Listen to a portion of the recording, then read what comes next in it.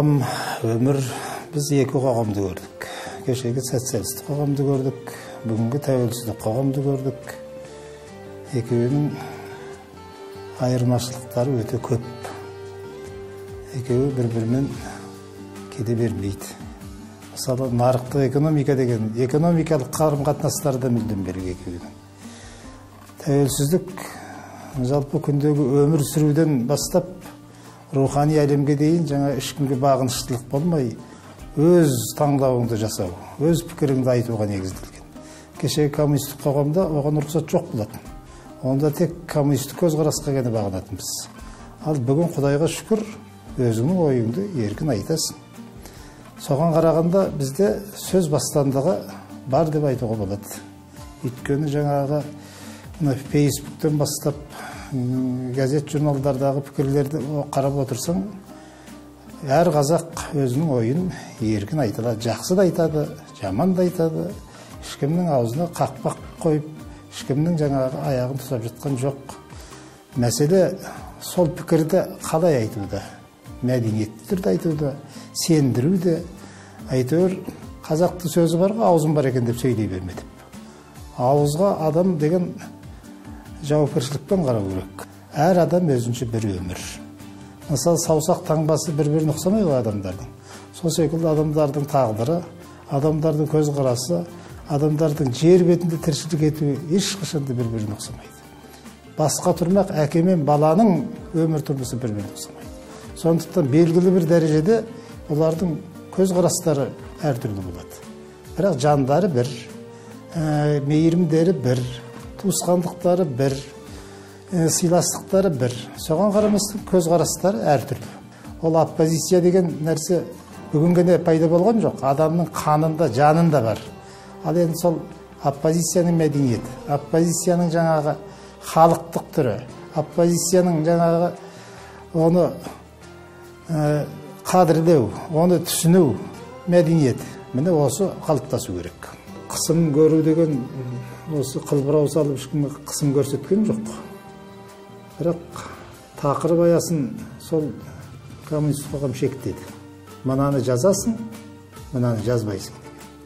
Жаңа ойыңды еркін білдірсең ойыңды еркін білдір дегенде кейде қоғамға жақпайтын пікір айтып қаласың. Кейде мысалы қазағым жұртым елім қазағым қиындық көріп жатыр деп айтып қалуың мүмкін. Ондайды айтқызбады. Сондықтан жаңағы қысым деген сол міне. Ең қысым сол. Сондықтан бір бағытта ғана жаңағы таптық көзқараспен қаратты дүниеге желкеңнен алып. Жаңағы мына тақырыпта жазасың деді жаңа коммунистік қоғамды жырлайсың деді.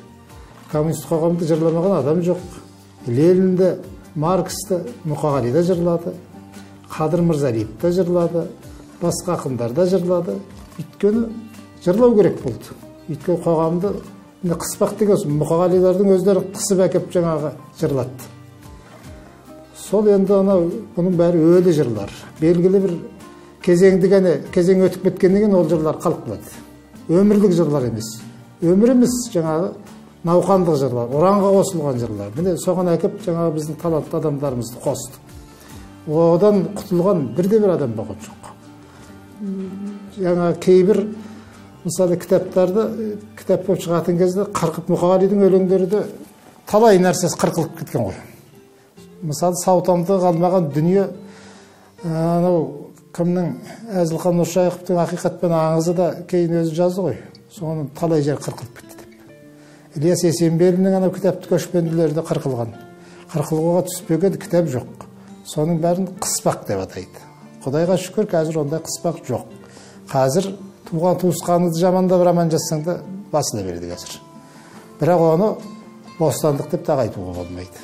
Мынау жаңағы сөз бостандығының мәдениетін қалыптастырмай жатырмыз. Сол сөз бостандығының мәдениеті қалыптасады. Міне сол кезде жаңағы сөз де ә, кітап та тыңдаушы да бәрі өз қалпына түседі. Қазақ халқының өзге халықтардан ерекшелігі жеті атаға толмай жаңағы қыз беріп қыз алыспауында бұл өзі селекциялық заңдылықты қазақ халқы о баста жаңа қатаң сақтаған. Ал енді қазақ міне жеті атаға толмай үйленбей сол арқылы қан тазалығын сақтаған. Одан туған ұрпақтар күші жағынан да ойы жағынан да өте қабілетті болған. Міне осындай қағілездік осындай қайраттылық осындай қайраткерліктің арқасында мынандай байтақ жерлерде біздің бабаларымыз жаудан да даудан да сақтап осы бүгінге жеткізіп отыр. Ал енді кешегі бабаларымыз сияқты біздің ендігі ұрпақтарымыз да өзінің мемлекетін жерін өздерінің ұрпақтарына сол күйінде сақтайды деп мен сенемін. Өйткені ол рух бір жаққа ұшып кеткен жоқ. Аздап шайқалды аздап бұзылды. Бірақ бәрінің жүректерінде тұнып тұр. Мәселен қазір қарап отырсаң осы совет үкіметі кезінде жаппай араққа көшіп кетті елдің бәрі. Үлкен де ішті кіші де ішті. Бірақ ол қазақтың қанында жоқ болатын. Қазір енді сол процесс тоқтап еді. Дереу біздің жастарымыз ауылда да далада да қазір арақтан алыстай бастады мен өзім көріп жүрген ауылға барып та тойларда болдым.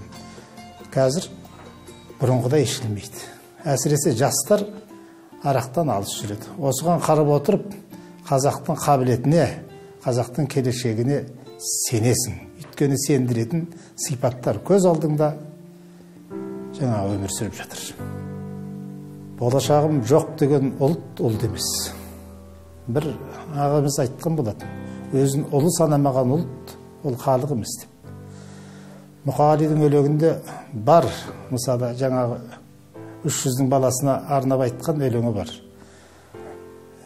неге мен үйсінмін деген өлеңі сонда тек қана мен үйсінмін дегенде кеудесін қағып отырған жоқ міне жаңағы әрбір қазақ жаңа өзін білу керек өзін мақтан ету керек мысалы орта жүзді мақтан ету керек кіші жүзді мақтан ету керек жаңағы үшеуі де менің бауырым дейді. Соның ішінде ана мен үйсінмін дегенде ұлы жүздің жауапкершілігін ерекше айтады.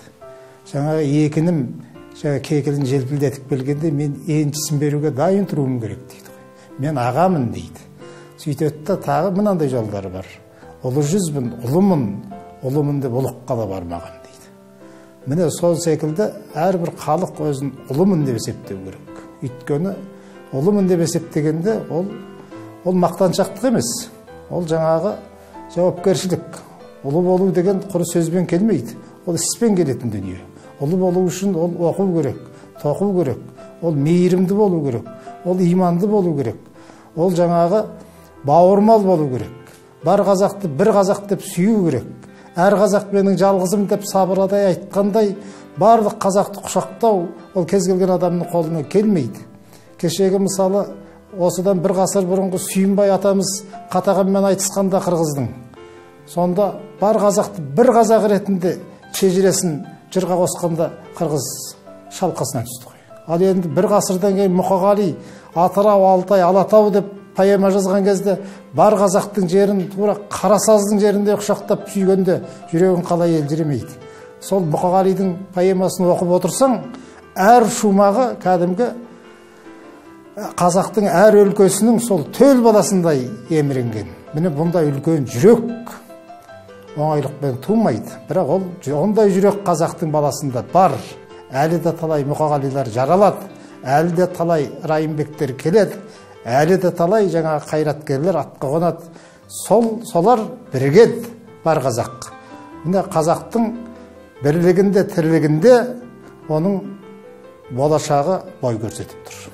Иман деген менің ойымша туа бітті мейірім бауырмалдық ата ананы сыйлау міне кішкентай күннен бастап өз әулетін өз дастарханын өз нанын өз аспанын өз жерін өз ұлтын өз айналасындағы көрші құлағын сүйіп жақсы көрсе ең алғашқы имандылықтың дәні осы енді көп жұрт имандылықты тек діншілдік деп қана ұғады ал енді қалай намаз оқиды қалай мешітке барады содан кейін барып иманды болады дейді жоқ ондай емес имандылық тәрбиемен ата ананың қанымен келеді ата анасы тәрбиелі болса мұқағалидың айтатын сөзі бар ғой несін тоқтап несіне көп қарадың мен жолымды берейін өт қарағым қыз жолын беріп ата салтпенен ер адамға сонда соны көрген сол ұмытылып қалған салтты ана бір кішкентай қыз көрсеткенде ақынның жүрегінің елжіреген соншалық мен жолымды берейін өт қарағым дейді. Анасының бергенін саған берген әруағынан айналдым тек дананың дейді міне осындай тек даналарымыз тек әкелеріміз ұрпағына имандылықты дарытқан.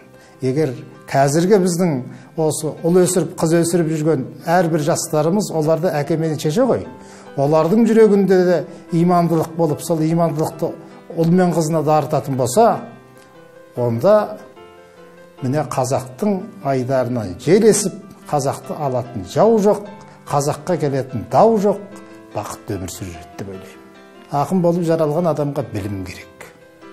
Мәселен мұқағали ақын болып жаралды. Ал енді біреулер айтады мұқағалиды жаңағы ақын еткен тағдыр жаңа көрген қиындығы егер көрген соғыс соғысты бастан кешіргені сол кездегі сол кездегі жаңағы жалаң аяқ жар кешіп қызыл аяқ қыр кешіп жетімдіктің күнін көріп жыламаса мұқағали осындай өлеңді жазбас еді дейді. Ал енді абай неге осындай өлең жазды? Абай мұқағалидың көргенін бірін де көрген жоқ. Ішкені алдында ішпегені артында ол да абай да мұқағали да екеуі де қазақтың ұлы ақыны ұлы дәрежеде мұра қалдырды олар ақын болып құдай жаратты ақын болып ішкі жаратылысында жаңағы бірте бірте айналасына қарай бастады өлең деген осы отырған сіз екеуміздің отырған кабинетімізде өлеңнің ағыны өріп жүр соны көретін жаңағы жүректің көзі болса міне соны жазып алады ал мына шекеміздегі көзбен қарасақ біз тек қана мына материяны ғана көреміз. Мысалы құлағымызбен біз тұрмыстық дауысты ғана естиміз. Мәшиненің дауысын естиміз иттің дауысын естиміз. Ал енді жан дауысын кім естиді? Жан дауысын тағы да сол жүрегіңнің құлағымен естисің сол жан дауысын көріп жаңағы өмірдің тіршіліктің көзге көрінбейтін ағындарын байқап оны сол күйінде қағазға түсірген адамды ақын деп айтатын шығар. Ондай адам мыңнан бір ғана. Ал қалғанымыздың бәрі жай ұйқастырғыш. Әлгі қисынын тауып қиядан шауып әлгі өлең айтқыш адамдардың қатарына қосылатын шығармыз деп ойлаймын. Адамдардың бағыттары неше мың. Бүлкілдетер қан тамырын көшенің уақыт мынау қозғалыстар арқылы реттейді тіршіліктің есебін. Тұла бойға сазы бөлек ән дарып қарап тұрсаң дүниеге таңданып машинаның ішіндегі бір дөкей кешегідей өте шықты паңданып. Тікбақайдың бездеңдейді аяғы. Бедері жоқ бәтіңкелер таяды. Әне біреу бара жатыр есінеп жалқаулықтан ажырамай баяғы. Махаббаттар жұптасуға барады. Жанарынан алтын сәуле тарады. Бір көшеде тәй тәй басты бүлдіршін бір көшемен топ келеді қаралы. Тыңдасаңдар неше түрлі күй тарсылдатса тас мұжиды тұяқты. Көшелердің бойыменен тіршілік көк сағымға сүңгіп жатқан сияқты. Өкінген кездер болады ғой. Әрбір күнгі жалқаулығың үшін өкінесің ертеңгі ана дүниені қалдырғаның үшін өкінесің ә, той тойлап жаңағы болмайтын нәрсеге тойлап дабырлап дүбірлеп алтын еңбек ететін кезеңдеріңді өткізіп алғаның үшін өкінесің. Ә, адамдардың бәрі солай. Дер кезінде бірдеменің қадірін білмейсің. Дер кезінде кейбір жолдастарыңның қадірін білмейсің. Туысыңның қадірін білмейсің. Біреуге қатты сөз айтасың. Біреуге ақыры сөз айтасың. Сонда бүкіл өмірің жаңағы үлкен өкініштен құдай сақтасын кішкентай өкініштер деген адамның бойында бірге жүреді. Анау 93 үшінші жылы жаңылмасам дегересте бүкіл қазақтың құрылтайы бірінші құрылтайы болды. Сонда жаңа шетелден келген бай қазақтар кәсіпкер қазақтар келді. Мықты киініп жалтылдаған костюмдары бар. Солар жата қалып дегерестің жаңағы шаңына аунап топырағын сүйген кезде көзіңнен жас парлайды міне соны сол қазақтың сондай бақыттылықтан жылағанын көргеніміз үшін бақыттымыз ата бабамыз жетпеген тәуелсіздікті біз көрдік тәуелсіздікті көргеніміз үшін бақыттымыз тәуелсіздіктің ауасымен демалғанымыз үшін бақыттымыз мен қазақпын деп айғайлағанымыз үшін бақыттымыз мына қазақ даласы бүкіл жер бетінде қазақтың менің отаным бар деп мақтаныш кернегенін көрген адам соны көргеніміз үшін бақыттымыз.